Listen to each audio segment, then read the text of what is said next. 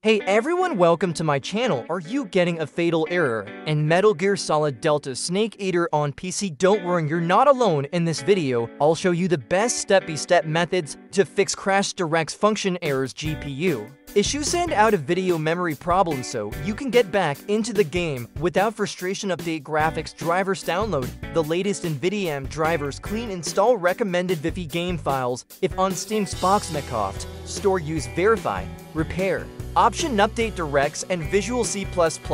Install the latest DirectX runtime and Visual C++ redistributable DIS overlays. Turn off Steam Overlay, Xbox Game Bar Discord Overlay lower graphics settings, reduce textures, and disable ray tracing if VRAM is Lauren as administrator launch it.